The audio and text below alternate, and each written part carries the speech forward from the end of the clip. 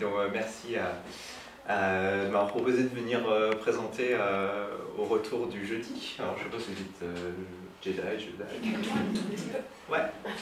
Et donc Parfait. je vais vous voilà, je vais vous parler de, de la recherche qu'on fait en ce moment. euh, C'est une recherche collaborative euh, donc, euh, sur de la modélisation des micro-habitats en, en forêt gérée. Et donc vous voyez là, je suis un peu entre vous et l'écran. Alors, du coup, euh, en fait, avant d'arriver euh, dans l'unité d'IRSTEA Nogent sur Vernesson, je travaille aujourd'hui, j'étais en, en postdoctorat euh, chez Thomas Ranus à Uppsala.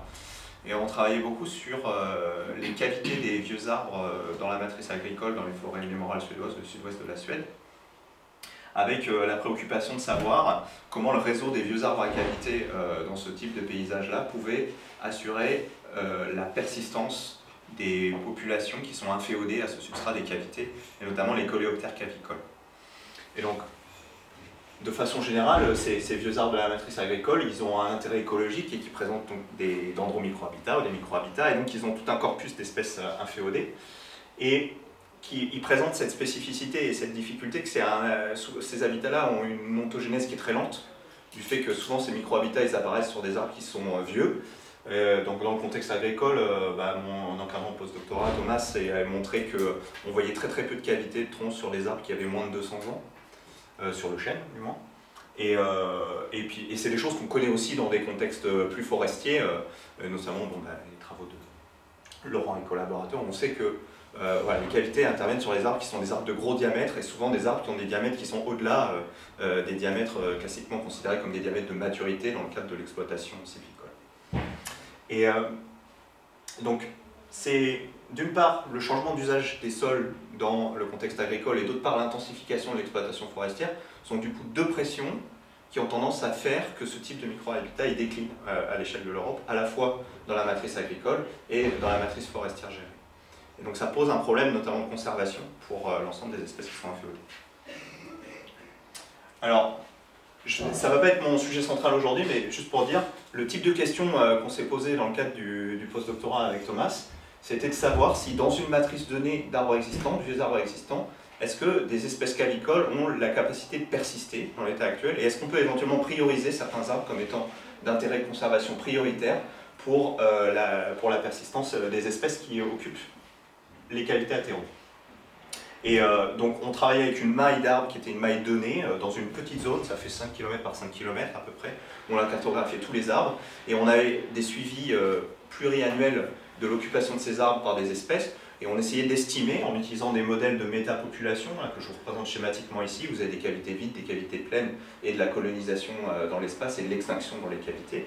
Et on essayait d'estimer une dynamique de ces espèces dans cet habitat pour savoir si la trame d'arbres que vous voyez par les points ici est suffisante pour assurer une persistance euh, à l'échelle de l'ensemble de la zone de euh, l'espèce qui nous intéresse, qui est celle-ci, à savoir euh, Tenebrio opacus, un petit ténébrien. Et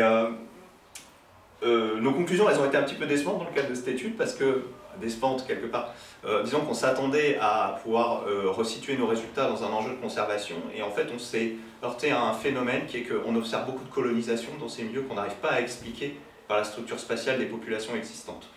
Donc du coup, on ne maîtrise pas tout à fait bien le processus de colonisation des cavités par cette espèce-là, ce qui nous empêche à ce stade, ce qui pose plein de questions en termes de- d'adéquation du modèle au système d'études, en termes de processus qu'on sera en train de manquer et tout, mais qui nous empêche du coup de conclure euh, de façon convaincante sur des enjeux de conservation.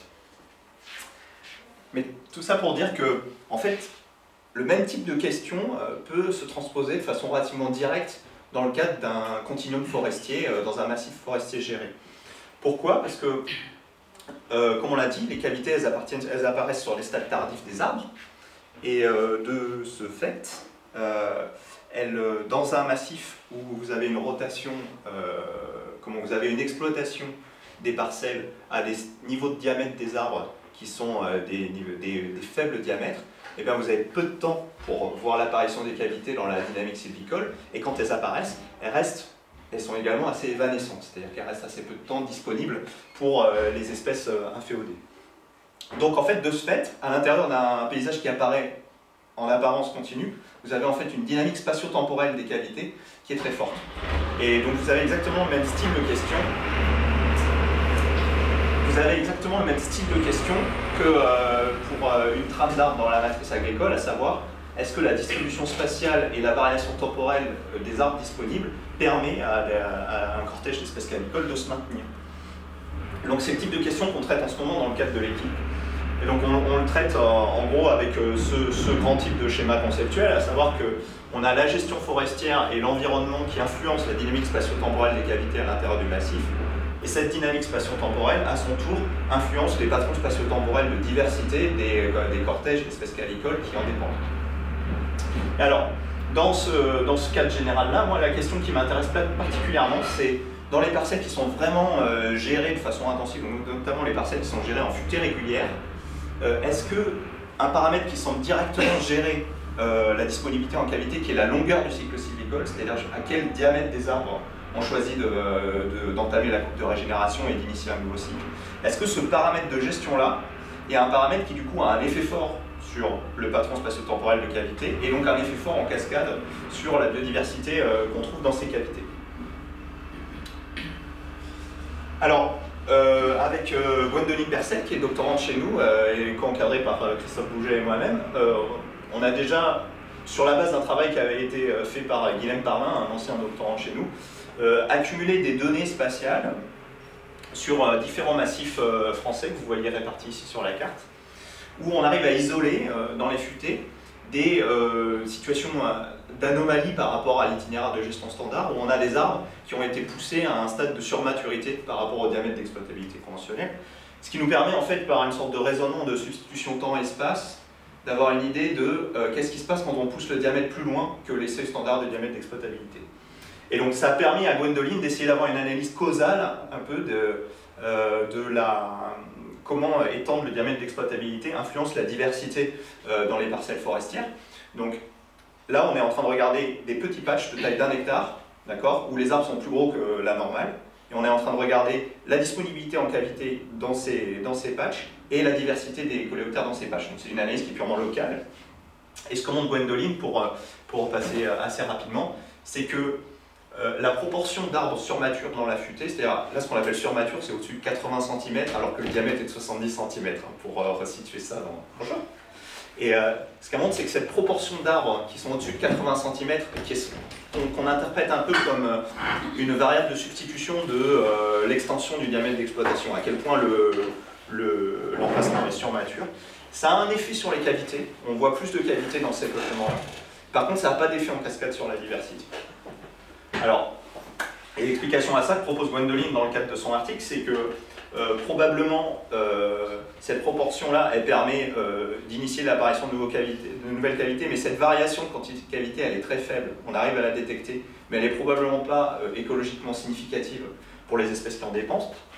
En plus, se pose par-dessus la question du retard de la dynamique de colonisation par rapport à la disponibilité de l'habitat, qui est un deuxième processus à prendre en compte et sur lequel on n'a on a, pas énormément d'éléments. Et la, dernière chose, c'est que on travaille sur des surfaces de 1 hectare. Donc quand bien même vous augmentez votre quantité de qualité sur 1 hectare, si vous êtes au milieu d'une matrice qui par contre est gérée de façon purement conventionnelle et où il n'y a aucune qualité, euh, vous vous rendez bien compte qu'en termes de, paysage, vous, probablement vous ne laissez pas l'opportunité à la, biodiversité de se développer dans cette surface.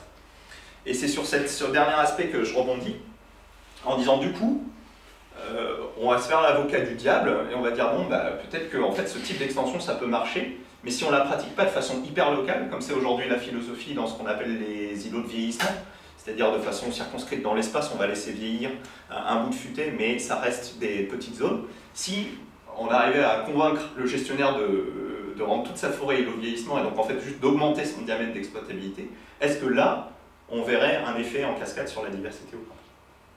Et donc pour ça, en fait, c'est euh, pour l'instant, on a une démarche qui est, qui est semi-théorique, semi-empirique, comme vous allez le voir, à savoir que on procède en trois temps, c'est-à-dire que d'abord on utilise un, modèle statistique prédictif pour être capable de lier euh, l'âge d'une parcelle à la quantité de qualité disponible.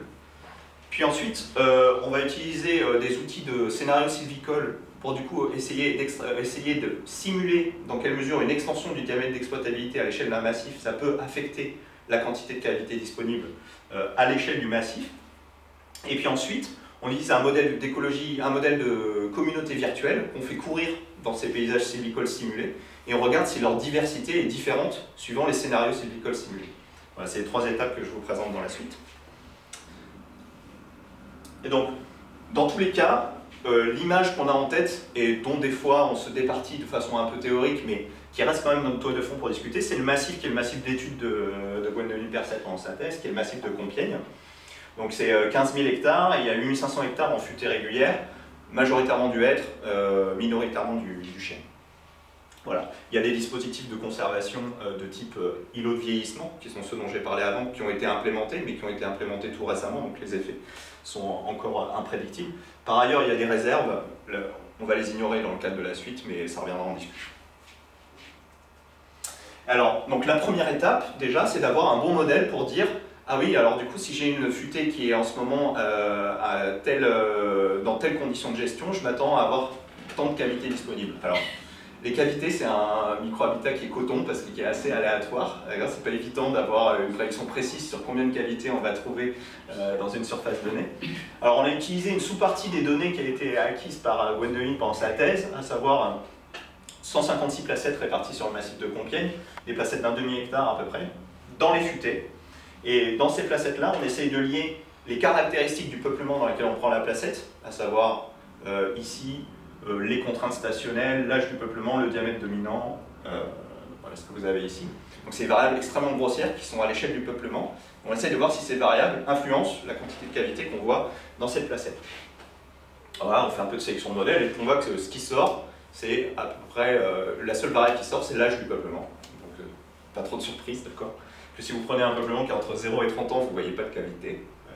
Et que, en gros, vous avez un effet, euh, euh, enfin vous, vous avez un effet, un effet croissant de l'âge et le moment où on va vraiment commencer à avoir un peu des cavités, c'est ces catégories euh, au-dessus de 130 ans. Et donc, mais là, l'intérêt dans, dans la démarche qui est pour l'instant une démarche un peu conceptuelle pour là, c'est l'idée d'avoir un modèle qui lie variable de peuplement et quantité de cavité.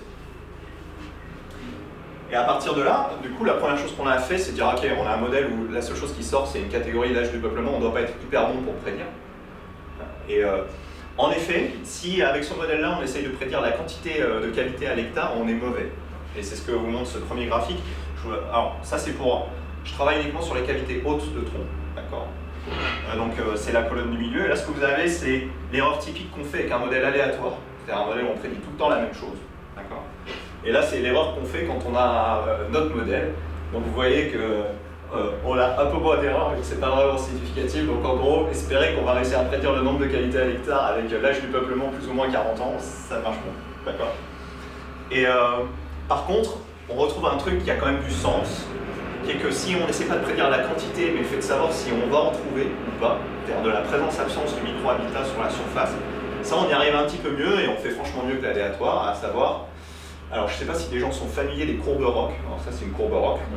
Donc, euh, si vous êtes euh, au-dessus de la diagonale, ça veut dire qu'en gros, vous, trouvez les cavités, vous, avez raison de dire qu'il y a des cavités plus souvent qu'un modèle aléatoire, et vous faites moins d'erreurs euh, qu'un modèle aléatoire. Donc, c'est un modèle qu'il est raisonnable d'utiliser pour faire de la présence-absence dans une surface donnée, mais certainement pas pour faire de la prédiction d'abondance. Et donc, c'est dans la deuxième façon de l'utiliser, sur la deuxième façon de l'utiliser que je m'attarde dans la suite. Donc, on a un modèle qui, à partir d'une surface donnée et de l'âge du peuplement, arrive à donner une probabilité qu'on y trouve des cavités. Maintenant, euh, il va s'agir de faire euh, évoluer l'âge des peuplements dans un massif forestier, et pour avoir, euh, au fil du temps, la surface dans laquelle on peut espérer trouver des cavités au sein du massif forestier, et comment cette surface évolue au fur et à mesure que les peuplements passent en coupe, recommencent à pousser, vieillissent, etc. Et donc pour ça, on utilise euh, un outil, on a, alors c'est euh, Romain Douce, un stagiaire qui a été avec moi euh, cette année là, qui a, été aidé par Patrick Vallée, qui est un chercheur chez nous, qui est un peu spécialiste des modèles de simulation forestière. En fait, on utilise des modèles de simulation de la futée du chêne qui nous donnent en gros l'évolution du diamètre des peuplements en fonction de l'âge sous différents types de traitements. Donc là, la courbe rouge, par exemple, c'est une futée régulière de hêtre dans des conditions fertiles, dans des conditions de bonne croissance. Donc vous voyez que le diamètre il augmente assez rapidement avec l'âge. Et pour un chêne dans des conditions un peu moins bonnes, vous avez la courbe noire. Donc, et un modèle qui intègre ce type de différence dans la vitesse de croissance du diamètre. Et après, à partir de là, pour l'instant, on a été assez grossier dans la modélisation de, des décisions sylvicoles, à savoir qu'on a un diamètre d'exploitabilité qu'on a pris pour l'instant être le même pour le chêne et le hêtre, alors que, enfin, on sait que c'est pas vrai. Mais euh, dans le cadre du stage de Romain, on a été euh, un peu obligé de faire des approximations. Mais donc l'idée, voilà, c'est que vous avez un peuplement qui pousse et au bout d'un moment, il atteint son diamètre d'exploitabilité et à ce moment-là, il réamorce. Il passe en couple de régénération et il relance un cycle sylvicole. Donc ce qui est intéressant, c'est que suivant l'essence et le niveau de fertilité, vous n'avez pas la même longueur du cycle sylvicole. Donc vous avez des dynamiques qui sont un peu asynchrones au sein du massif et donc des prédictions qui ne sont pas forcément triviales sur euh, comment évolue au cours du temps la quantité de cavité dans le massif. Et donc la réponse est là, dans ce truc qui ressemble à la mire de votre télé, euh, à savoir que euh, du noir au gris, ici, vous avez le niveau du diamètre d'exploitabilité qu'on met dans les simulations. On part de 60 cm un niveau, on tape dedans, à 90 cm un niveau où le, euh, le gestionnaire ONF s'évanouit. Euh, et euh, donc, du coup, entre les deux, vous voyez qu'on a deux effets qui sont très clairs. Le premier, c'est que plus on autorise un, niveau diamètre d'exploitabilité tardif, plus vous avez de cavités dans votre massif. Ici, c'est la surface totale du massif dans laquelle je m'attends à trouver des cavités. Et par ailleurs, plus votre diamètre d'exploitabilité est haut, plus vous avez de la fluctuation. C'est euh, deux résultats qui sont euh, assez naturels quand on y réfléchit, parce que plus un peuplement on le laisse vieillir, plus il va avoir une amplitude dans la variation de quantité de cavité dont il dispose, ça c'est l'augmentation des fluctuations, et plus en moyenne les peuplements vont être vieux dans le, dans le massif, ça c'est l'effet euh, que vous avez sur l'intercept. Bon alors il faut voir que quand même quand on regarde en proportion de la surface en fuite irrégulière dans le massif, on fluctue entre 13% et 18% euh, de la surface de futée qui est jugée potentielle en termes de cavité. Donc on reste quand même dans des marges, euh, dans des gammes de fluctuations qui sont d'une amplitude pas énorme et relativement faible. ça n'a rien à voir avec les dispositifs de mise en réserve ou quoi que ce soit. Alors, à partir de là, une fois qu'on a ça, là, ce qu'on a, c'est euh, pour différents diamètres d'exploitabilité, une dynamique de l'âge des peuplements et donc une dynamique des quantités de cavités prédites dans ces peuplements. Et donc là, ce qu'on peut faire maintenant, c'est euh, lancer là-dessus un petit modèle de métacommunauté qui exploite les cavités qui sont disponibles, qui meurent quand les cavités disparaissent, qui recolonise les cavités qui apparaissent, et, euh, le faire tourner et le faire tourner en. On utilise ce qu'on appelle un modèle neutre, à savoir que ce qu'on regarde, c'est par exemple les coléoptères cavicoles qu'occupent les communautés, et euh, on ne va pas du tout rentrer de détails dans le modèle sur euh, les différences de spécificité de ces différents coléoptères. Est-ce qu'il y en a qui sont plutôt des pionniers? Est-ce qu'il y en a qui sont plutôt des tardifs? Est-ce que le niveau de maturation de la qualité joue l'importance? Non, on se focalise exclusivement sur les problématiques spatiales, donc les problématiques euh, d'accessibilité des cavités en fonction des distances auxquelles elles se trouvent les unes des autres dans le massif, et de disparition des communautés quand les cavités disparaissent. Donc on sait à peu près les deux phénomènes qu'il y a. Donc ici, par exemple, vous pouvez imaginer qu'il y a une cavité euh, vacante qui apparaît du fait de la maturation du peuplement, et ben, cette cavité elle peut être occupée par, euh, euh, par des individus, et cette probabilité d'occupation de la cavité par les individus, elle va dépendre exclusivement de la distance. Ce que vous avez, c'est qu'au début, si vous imaginez une expérience de pensée, vous n'avez pas du tout de cavité. Quand la première cavité apparaît, il faut bien qu'il y ait un individu qui soit disponible pour aller l'occuper. Donc il faut bien qu'il y ait la possibilité que des individus rentrent de l'extérieur. Et donc on a une sorte de réservoir de diversité qui peut représenter la trame forestière à une échelle plus large et qui permet d'abonder euh, les cavités qui sont occupées par personne dans la dynamique locale. Et euh, on n'a pas. Alors, mon premier stagiaire, il faisait pas du tout de modélisation, mais il était très fort en SIG. Mon deuxième stagiaire était très fort en modélisation, mais il connaissait rien en SIG. Donc, au final, j'ai un modèle où je suis pas capable de le faire tourner sur la carte de Compiègne encore. Donc du coup, j'ai juste repris les peuplements et je les ai dispatchés sur une sorte de grille, d'accord? Donc c'est un modèle qui est spatialisé, mais son espace n'a rien à voir avec l'espace de Compiègne. Et euh, donc je peux faire tourner la dynamique, et pour le faire tourner la dynamique, et ça c'était la spécialité d'Arthur Miramont, qui est mon deuxième stagiaire, on a implémenté un petit algorithme qui est un algorithme de coalescence, c'est-à-dire qu'on simule la dynamique de la métacommunauté à l'envers dans le temps. Je ne vais pas rentrer dans les détails là, mais ça a un avantage, c'est que ça permet de simuler très très vite des très très grandes communautés. Donc là, par exemple, on simule des communautés qui ont de l'ordre de 100 000 individus, et ça prend un peu moins d'une minute pour donner un résultat dont on a la garantie que c'est un résultat de la dynamique stationnaire par rapport à la dynamique de gestion. Donc on n'a pas du tout de problème de burning, on n'a pas du tout de problème de cette nature-là. C'est des choses qui vont très très vite et qui permettent d'envisager d'après des méthodes d'exploration par simulation massive. Alors, les résultats qu'on a, c'est des résultats qui sont en fait assez intéressants en dépit de, en dépit de, la série d'approximations que j'ai présentées avant. C'est que augmenter du coup le diamètre d'exploitabilité pour les communautés de coléoptères qui sont présentes, euh, ça n'a pas d'effet sur la diversité à l'échelle du massif. C'est-à-dire quel que soit le diamètre d'exploitabilité pratiqué à l'échelle du massif, j'ai la même diversité. Et ça, c'est vrai que je regarde la diversité de Simpson, la première colonne, là je parle de la ligne du bas, la diversité de Shannon ou la richesse spécifique. C'est euh, quelque chose qui est assez robuste à la pondération que je donne aux espèces rares euh, dans, le, dans l'analyse du corpus de communauté. Par contre, ce qu'on voit, c'est que ça répond de façon très claire à la diversité à l'intérieur d'un peuplement, la diversité moyenne à l'intérieur d'un peuplement, ça augmente quand j'augmente le diamètre d'exploitabilité. Donc qu'est-ce que ça veut dire en fait? Même diversité globale, mais une diversité locale plus forte, ça veut dire que quand j'augmente le diamètre d'exploitabilité, je rends ma forêt plus percolante. Les individus peuvent se balader partout, et donc du coup ma diversité elle est bien partagée entre mes placettes.